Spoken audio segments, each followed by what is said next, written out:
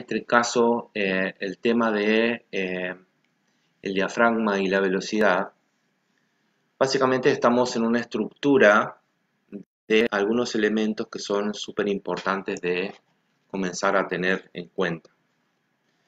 O sea, cuando eh, en una cámara fotográfica nosotros tenemos principalmente la objetividad, o sea, la parte del objetivo de la cámara, que tiene su eh, torre aquí, esa torre que tiene eh, específicamente es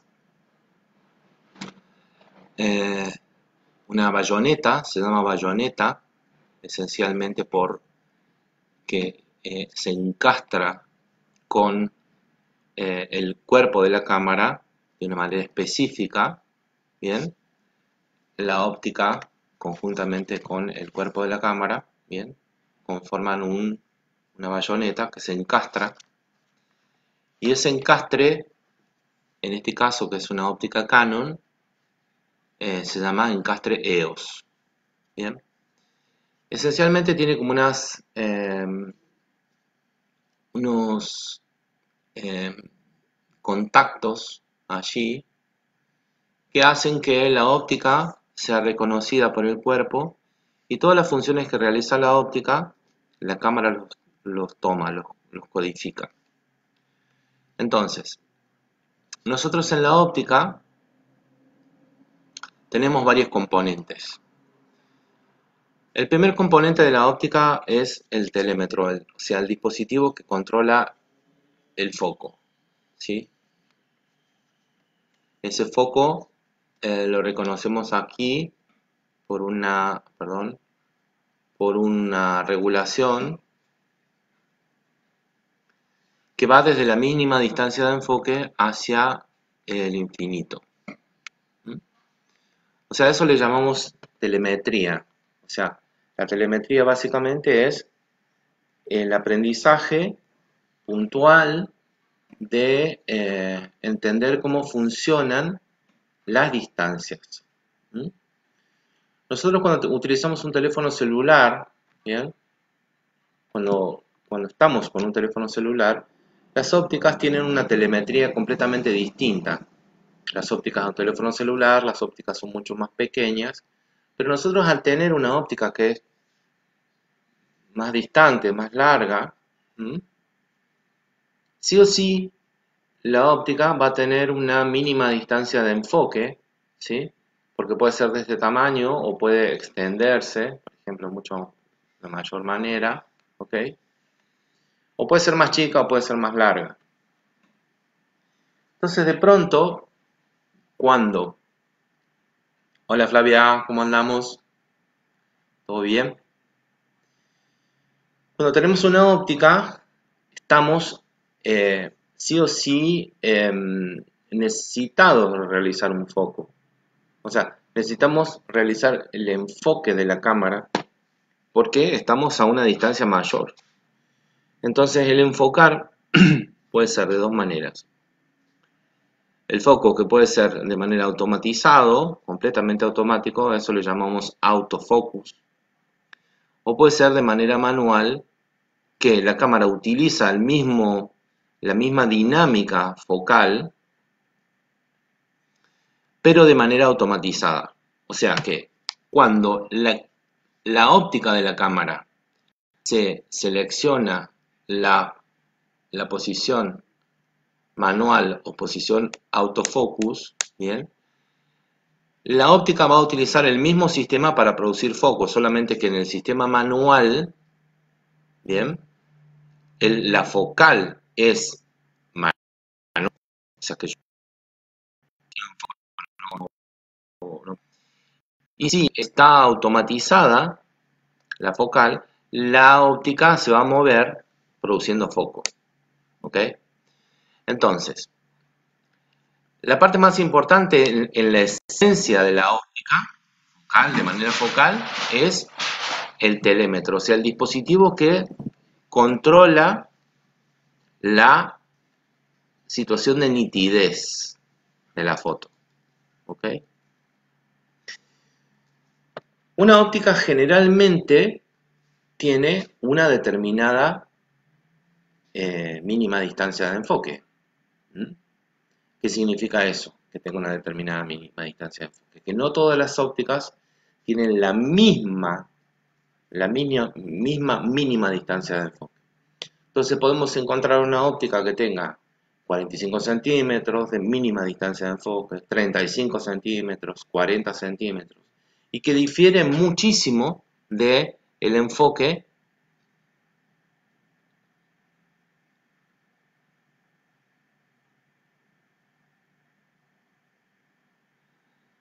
eh, del enfoque a em, un teléfono celular. Esperen que le tengo que pasar un dato a, a un alumno que no sabe cómo entrar al grupo.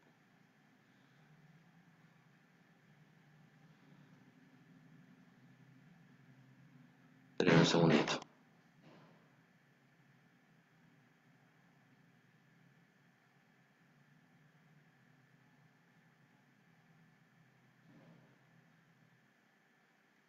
Em,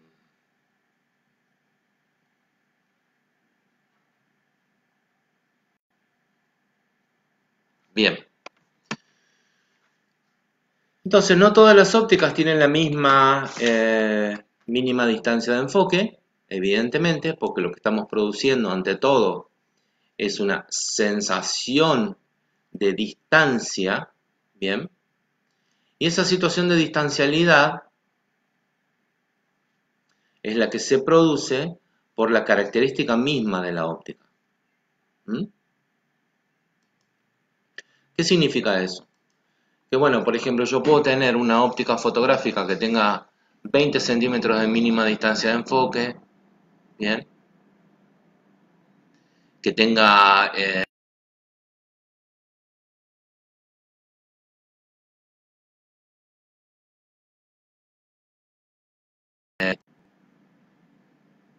¿Siguen? Eh, y que otras no lo, no lo, produzcan. Entonces yo no, yo al trabajar fotográficamente tengo que poder identificar cuál es la mínima distancia de enfoque de mi óptica y la voy a leer en el, en el montaje. Flavia, ¿me estás escuchando? ¿Sí? Bien. El segundo elemento que nosotros tenemos en la óptica, que es súper importante también, es el anillo de diafragmas. El anillo de diafragmas es el dispositivo que controla la cantidad de luz que ingresa a la cámara por medio de su anillo de diafragma, su apertura. O sea, por ahí. Que puede ser más chica o más grande. En este caso yo no lo puedo abrir o cerrar porque estoy utilizando una óptica que es autofocus. Bien. Pero verán que la, parte de la focalidad pequeña, ¿no? Entonces el anillo de diafragma puntualmente es el que administra la cantidad de luz que pasa por acá. El anillo de diafragma es el que administra la cantidad de luz que pasa por aquí. Entonces yo puedo tener una óptica que tenga un diafragma más cerrado o más abierto.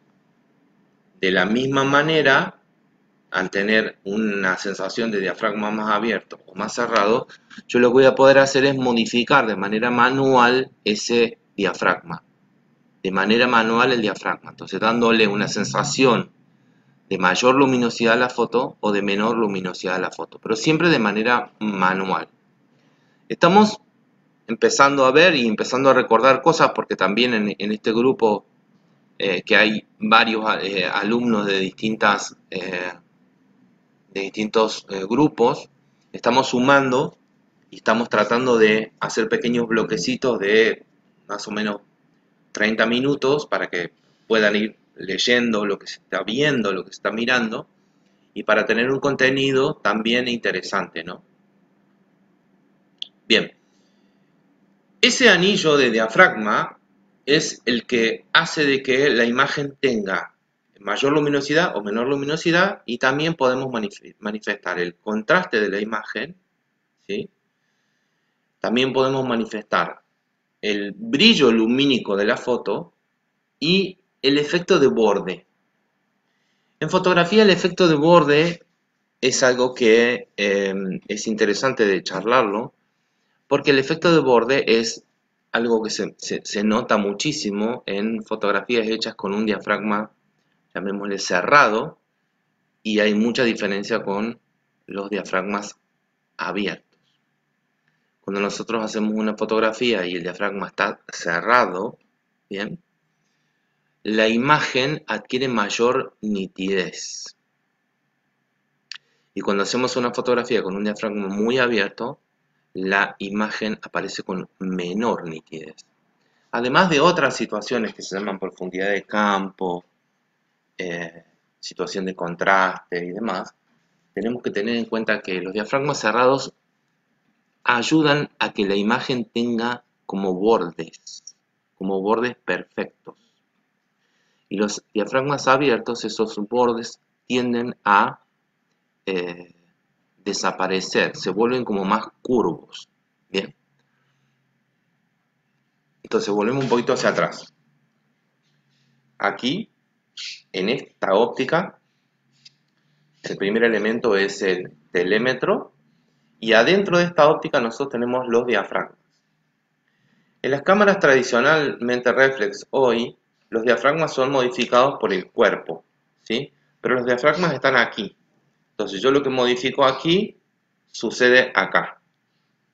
Antes, con una óptica, eh, llamémosle mecánica, los diafragmas yo los podía modificar desde el mismo cuerpo de la óptica, ¿bien? Y abría y cerraba el diafragma, ¿ok? No así en las cámaras eh, reflex de ahora, que yo modifico el diafragma en la cámara y se me modifica directamente el diafragma en la óptica. Bien, entonces acá no vamos a encontrar el diafragma en la misma óptica, sino que está adentro, pero está modificado de manera electrónica. Bien, ok. Podemos también encontrar en este tipo de ópticas que se llaman zoom un eh, dispositivo que em, cambia el ángulo de visión. O sea, lo que yo estoy haciendo ahí es modificando el ángulo. O sea, volviéndolo más eh, amplio o más cerrado. Bien, generalmente cuando tengo la óptica así como retraída es más angular y cuando la tengo extendida es más teleobjetivo. ¿Sí? Ok. Puede que yo tenga una óptica que no tenga este dispositivo, o sea, que no tenga el zoom, o sea, que sea esto así y nada más. Entonces a eso le vamos a llamar ópticas fijas. Como Flavia tenés una, óptica fija y tenés un, creo que dos ópticas, un zoom más corto y un zoom más largo. O sea que las ópticas zoom tienen ese dispositivo que recorre una determinada, un determinado ángulo de visión, ¿bien? Y en el caso de no tenerlo ese dispositivo, lo que tendríamos es una óptica fija. Bien. Habíamos dicho recién al principio que las ópticas se encastran con el cuerpo por un sistema que se llama sistema de bayoneta. O sea, esta es una óptica Canon con un cuerpo Canon. Yo podría tener una, óptica de otra marca, pero para Canon, ¿sí? por ejemplo, un Tamron o un, o un lente Sigma, y el encastre de la óptica tendría que ser para el cuerpo. ¿Bien? O sea que telémetro es el dispositivo que controla la distancia, ¿bien? En este caso el zoom, porque es una óptica zoom, y los diafragmas que tenemos, en este caso vos tenés un lente, como me está diciendo, que es un 50 milímetros, que es un foco, y puntualmente con la pregunta que vos me estás tirando, el 50 milímetros, que es importante, que lo hemos charlado también en, en las clases, ¿no? En las clases online. Y esto te va a venir bien a vos y les va a venir bien al resto de los alumnos cuando se sumen a, la transmisión o al grabado. El 50 milímetros, el lente 50 milímetros que vos tenés, o el lente 50 milímetros que yo tengo, es un lente que es 50 milímetros para una cámara que tiene un sensor como este. ¿Mm? O sea que, anotate,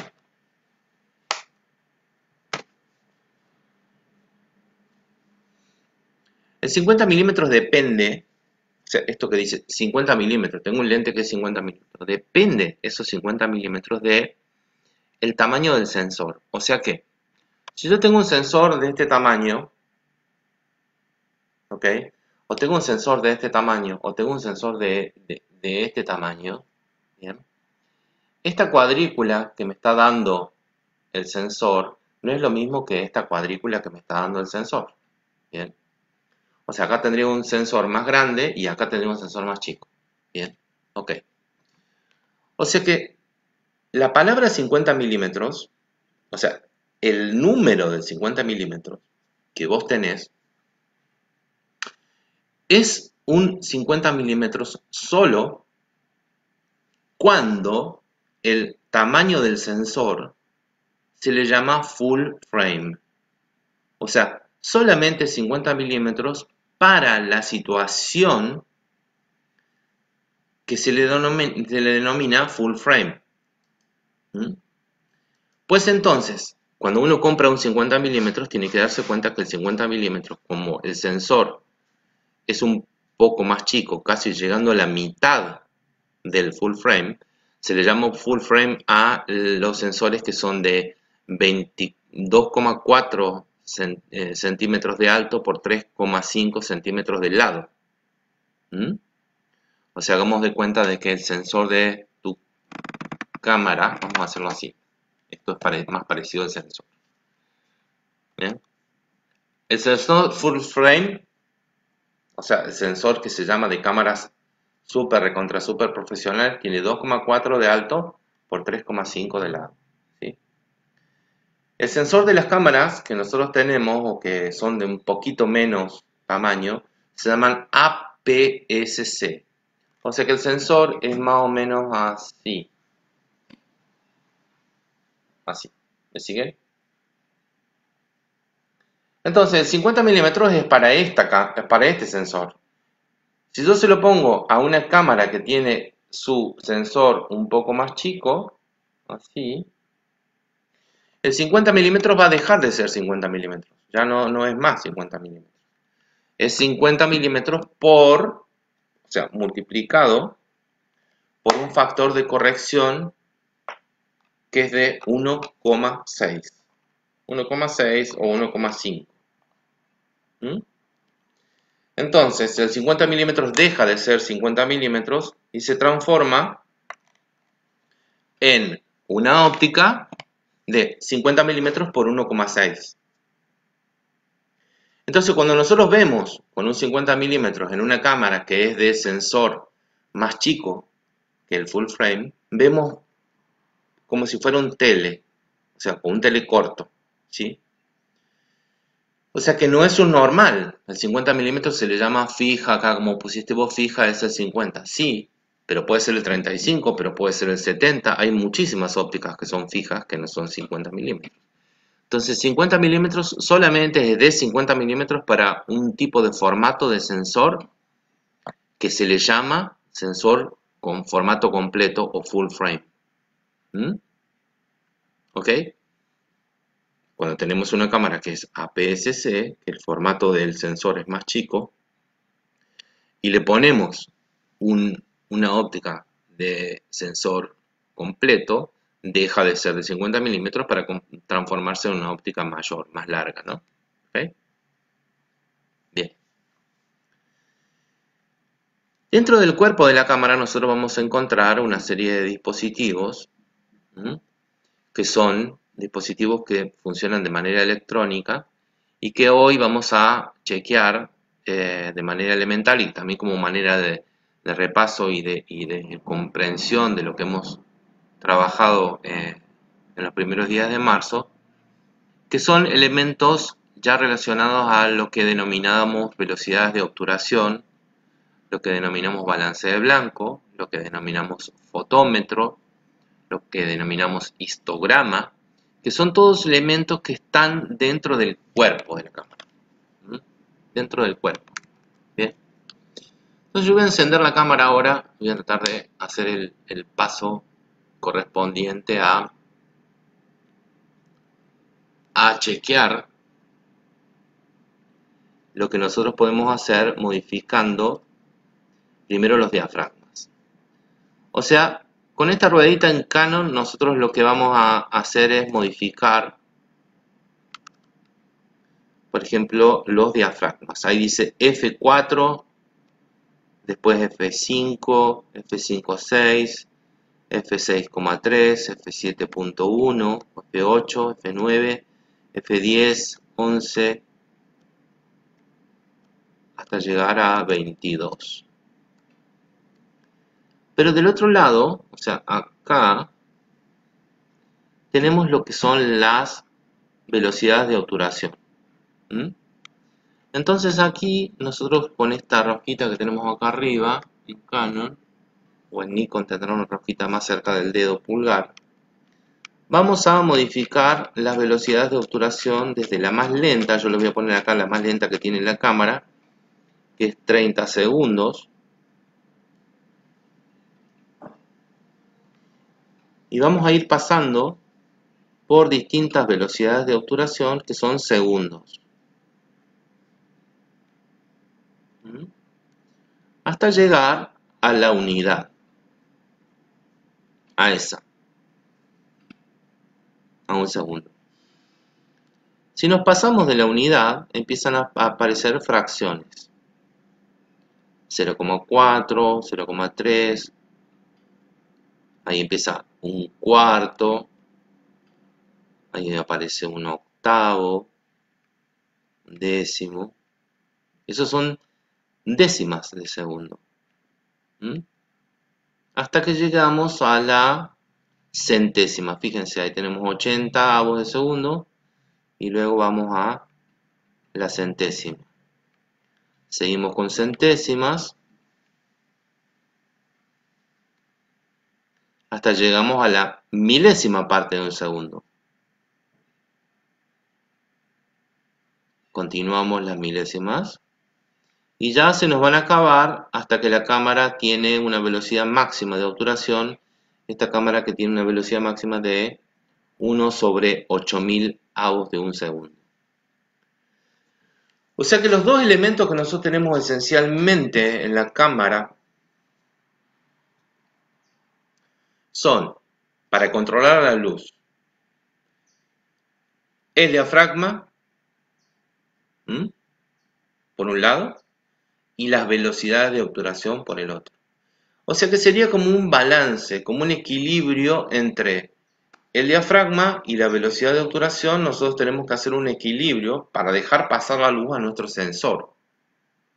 La luz puede ser mucha, la luz puede ser poca, ¿bien? Pero de, ese equilibrio que nosotros tomamos entre la velocidad más alta y la velocidad más baja, y el diafragma más abierto y, el diafragma más cerrado, vamos a producir una sensación de equilibrio. Ese equilibrio lo va a dar un dispositivo que se llama fotómetro. ¿Mm? Pero no solamente eso. Además de esos dos elementos que nosotros vamos a controlar de manera mecánico, tenemos un, tenemos un tercer elemento que se llama ISO, o sea, sensibilidad. La sensibilidad esencialmente es la coherencia que tiene el sensor con respecto de la cámara para poder captar una luminosidad correcta, ¿bien? Y darle a la fotografía una sensación de luminosidad precisa y exacta, ¿no? Entonces, cuando antes trabajábamos con negativo, cuando trabajábamos con rollos fotográficos, antes comprábamos un rollo fotográfico de determinada sensibilidad. Hoy, nuestro sensor de la cámara podemos utilizarlo a la sensibilidad que nosotros querramos, ¿sí? modificándole el diafragma, eh, aumentándole o, cerrándolo, aumentando la velocidad o bajándola, pero además de eso, podemos incluir en nuestra foto una modificación de manera manual de lo que es la sensibilidad. O sea, la sensibilidad es cuánta luz necesita el sensor para ser expuesto correctamente. Pero en la cámara es el mismo sensor el que se sube o se baja la sensibilidad. Por ende, cuando nosotros aumentamos la sensibilidad del sensor, aumenta una cosa que se llama ruido. Y cuando disminuimos la, sensibilidad del sensor, ese ruido desaparece. ¿Por qué aparece?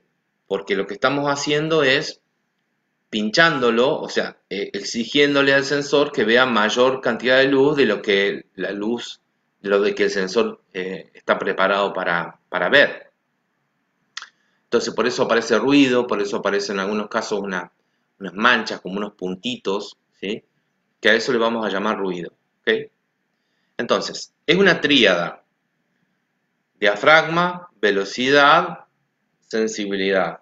Diafragma, velocidad, sensibilidad es lo que nosotros consideramos como una estructura que es inmóvil. O sea, es móvil, pero es inmóvil porque no podemos dejar de utilizar esos tres elementos.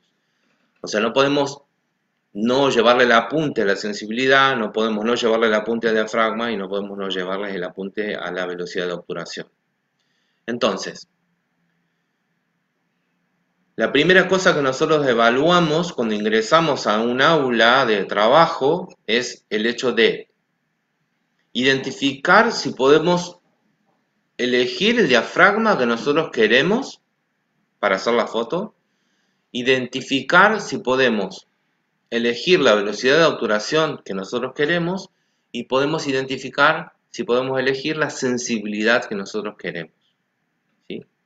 Haciendo modificaciones, teniendo en cuenta que esas modificaciones, el único dispositivo que lo va a eh, poder entender, evidentemente, que es el fotómetro. Yo les dejé en el grupo para para todos que, puedan ver algunas gráficas que tienen que ver con eh, el uso de, los diafragmas y el uso de las velocidades y, también unas gráficas que propone el fotómetro, yo aquí les voy a mostrar el fotómetro, cómo se, cambia, aparece, cómo aparecen los cambios. El fotómetro es el que administra estas tres cosas. ¿sí? Esperen que haga foco la cámara. A ver si está un poco sucia.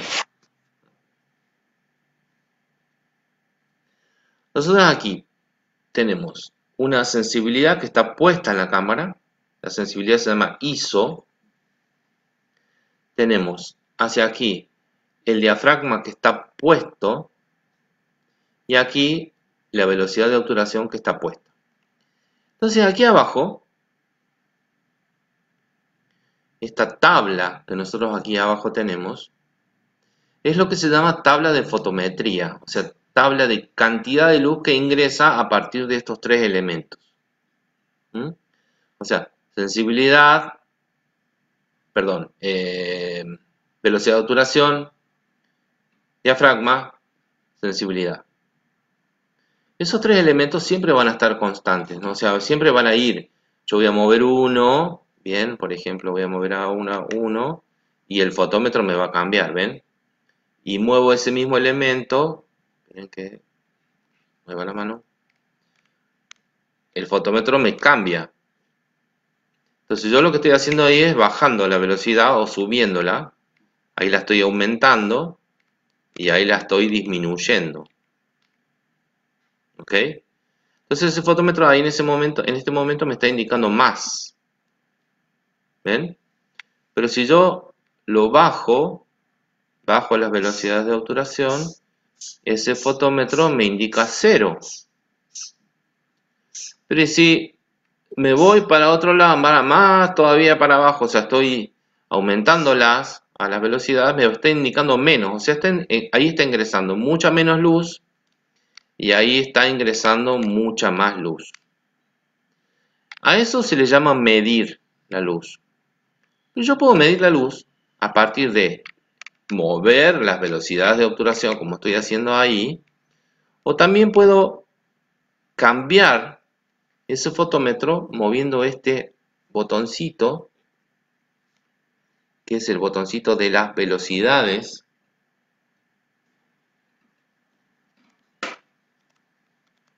Bien, las velocidades de obturación,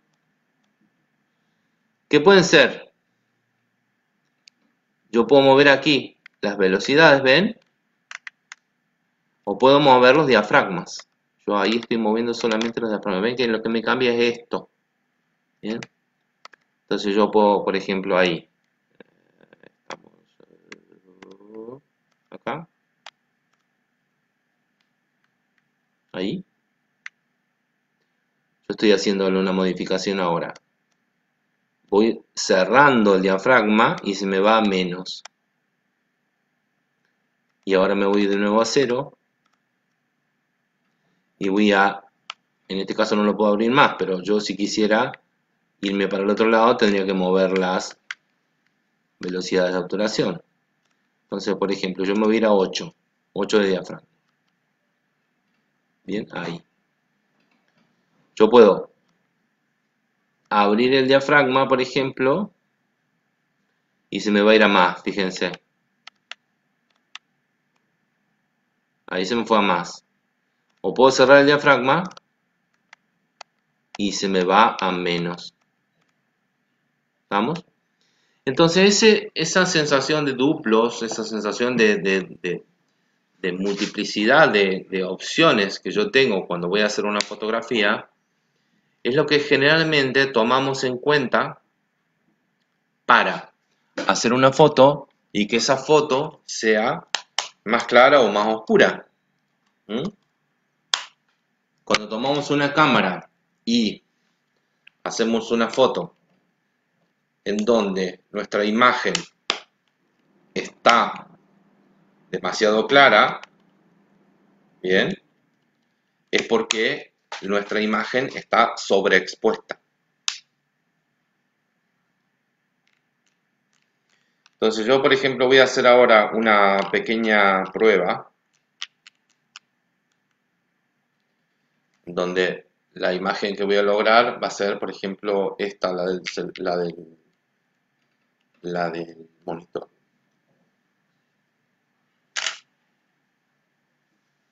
¿Ven? La foto del monitor está correctamente expuesta. Quizás la vean un poco más clara de lo que es, pero bueno, está correctamente expuesta. Ahí. Si yo esa foto la hago con menor luz, lo que voy a poder hacer es cerrar el diafragma y mantener la misma velocidad y esa foto va a tener menor registro, ¿ven? Registro significa de que tiene menor luminosidad. Entonces yo lo que hice ahí esencialmente es cerrar un poco el diafragma, ¿bien? Y mantener esa misma velocidad para subexponerla. O sea, subexponer significa darle menor cantidad de luz. Y ahora voy a hacer lo mismo en donde voy a abrir el diafragma al máximo sobre esa misma situación y voy a hacer la foto un poco más quemada.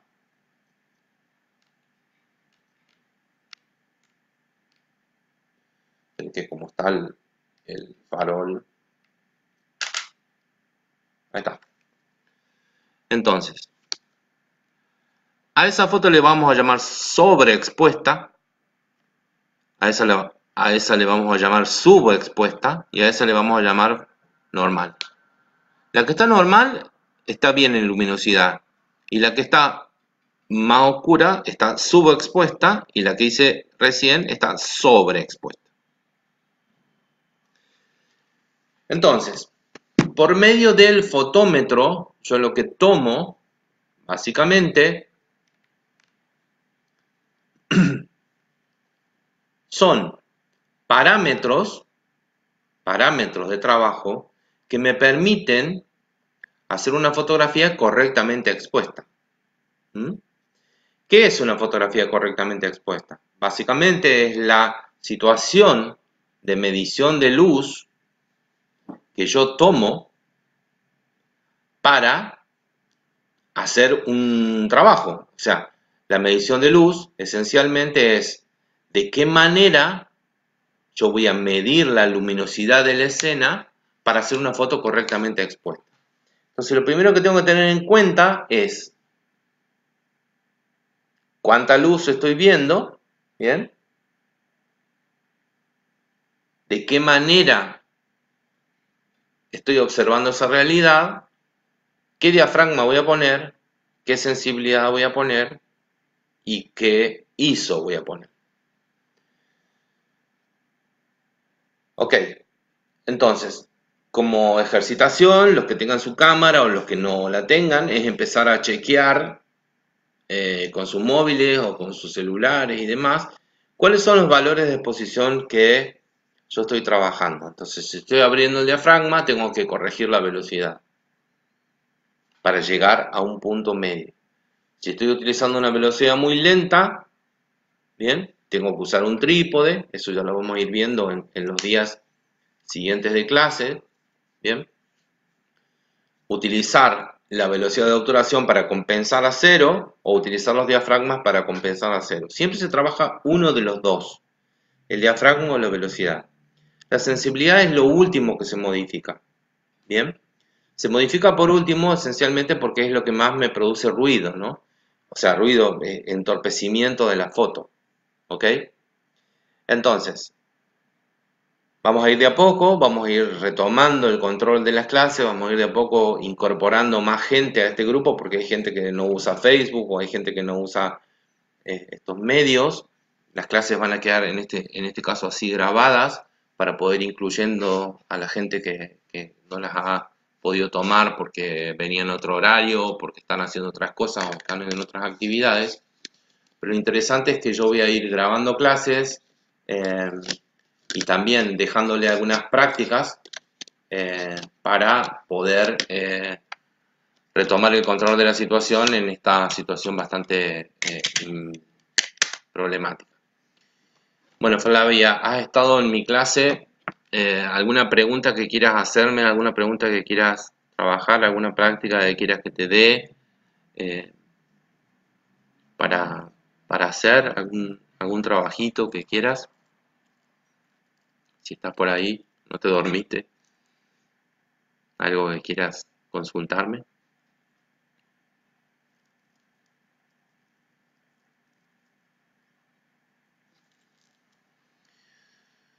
Bueno, se acerca más o menos el tiempo estimativo que son las clases de esta manera. Eh, pensamos que eh, por recomendaciones eh, las clases sean más o menos sistemáticas de esta forma, que tengan una dinámica interesante, que tengan una presentación y un cierre y que bueno, las consultas también luego aparezcan en una dinámica constante de trabajo en este grupo está bueno de que posteen también algunas cosas que les parezcan, que, le queden acá y que se autoconvoquen en los grupos de, de, clase. Bueno, ¿qué es lo que no tenés claro? A ver. ¿Querés que solucionemos algo particular? Esto lo tengo claro. Bien. ¿Qué es lo que no tenés claro? A ver, contame. Sobre esto que estamos charlando ahora y para no irnos a otro tema. Lo entiendo, sí. Habrá que hacer la práctica, sí. ¿Qué es lo que no tenés claro de esta parte? Yo te voy a dejar una pregunta, a ver si lo tenés claro. ¿Por qué pasa que cuando hay velocidades de obturación muy altas, las fotos tienden a subexponerse?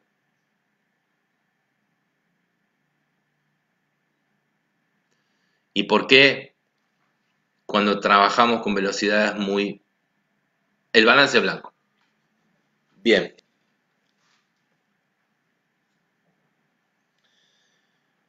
Buenísimo. Flavia me pregunta sobre una cosa que se llama balance de blanco. Ok.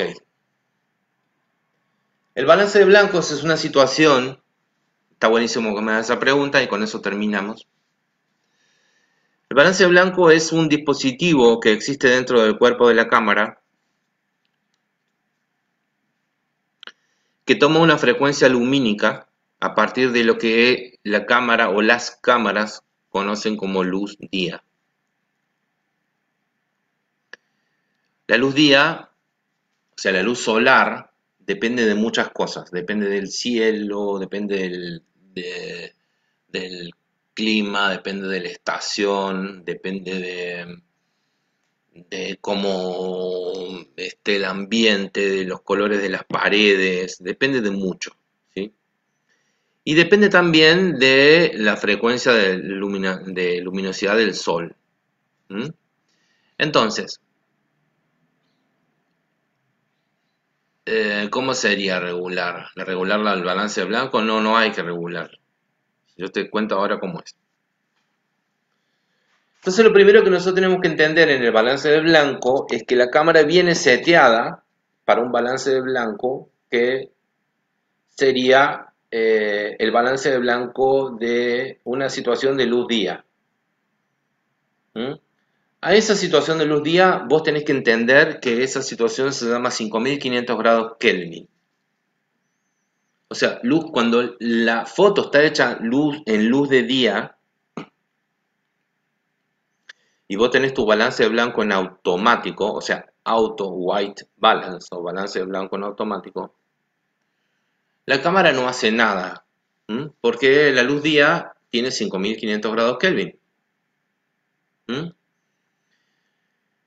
Pero como nosotros trabajamos con un sensor y ese sensor es electrónico, si a ese, a ese sensor que viene para, preparado para luz día yo le pongo un fluorescente o le pongo una luz de, foquito que es amarillento, o le prendo una vela, el sensor que viene para, preparado para luz día, a ese elemento lo va a ver raro, lo va a ver distinto, lo va a ver amarillento, lo va a ver azulado, lo va a ver verdoso, ¿bien?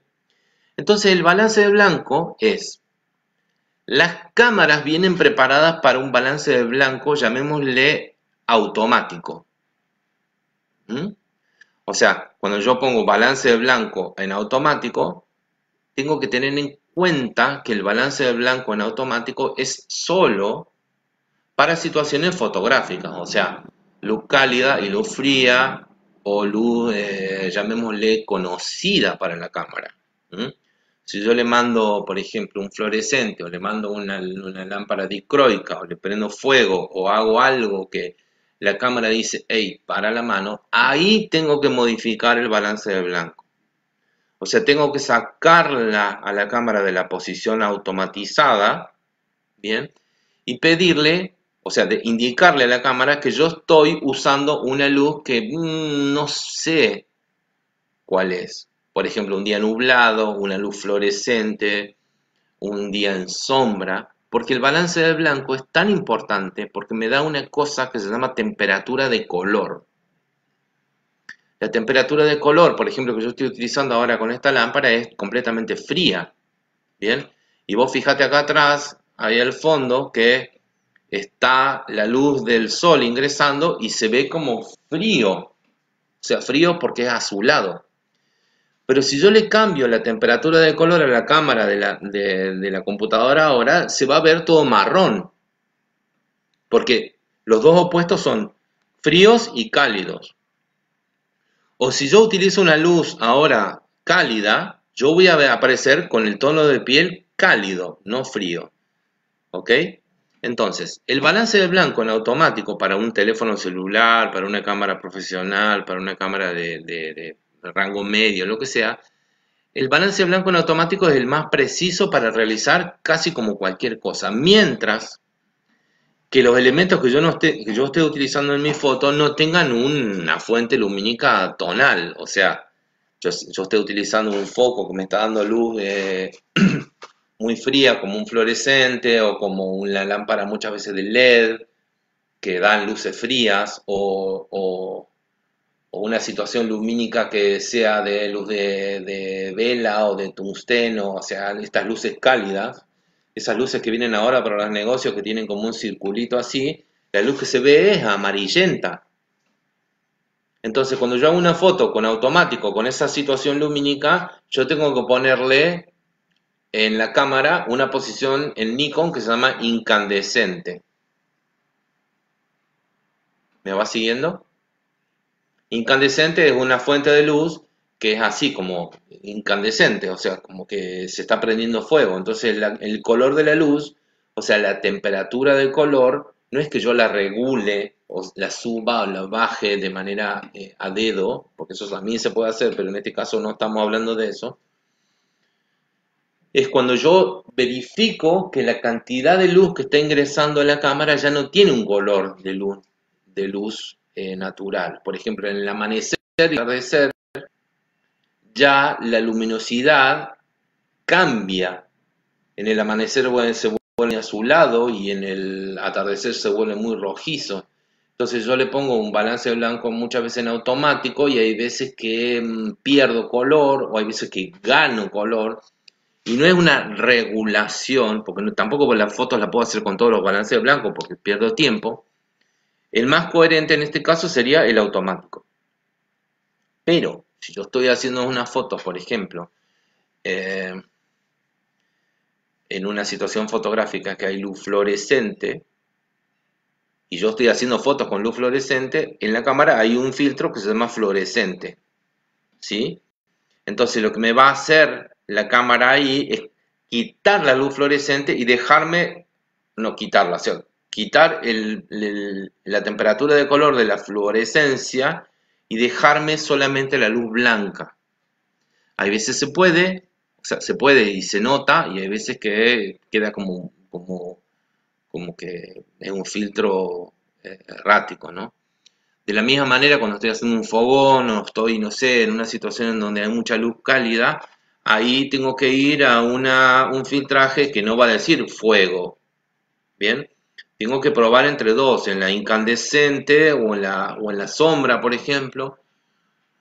Puede suceder muchas veces cuando estoy en una pileta de natación, en un lugar en donde hay mucha luz azulada, por ejemplo en el sur argentino, que hay muchos lagos y muchas montañas y demás, no hay un balance blanco para que diga ahí eh, luz azul tengo que probar, por ejemplo, el día nublado o el día en sombra, y tengo que probar para que el balance blanco en dos o tres fotos sea más o menos lo mismo y que tengan una serie de eh, continuidad las fotos, que una no salga muy azul y la otra no salga muy cálida. ¿Mm? Entonces, el balance blanco es el automático, el que permite más o menos recorrer el espectro de luz blanco aproximadamente entre lo cálido y lo frío. Pero los otros, nublado, incandescente, flash, sombra, eh, eh, fluorescente luz cálida, fluorescente luz fría, es para situaciones donde yo ya tengo presencia completa de esa luz. ¿Ok? Bueno, gracias por tu pregunta. Eh, les voy a dejar algunos gráficos también aquí, me parece que ya los vieron algunos. Y bueno, nos vemos eh, en otra clase, ¿ok? Chao.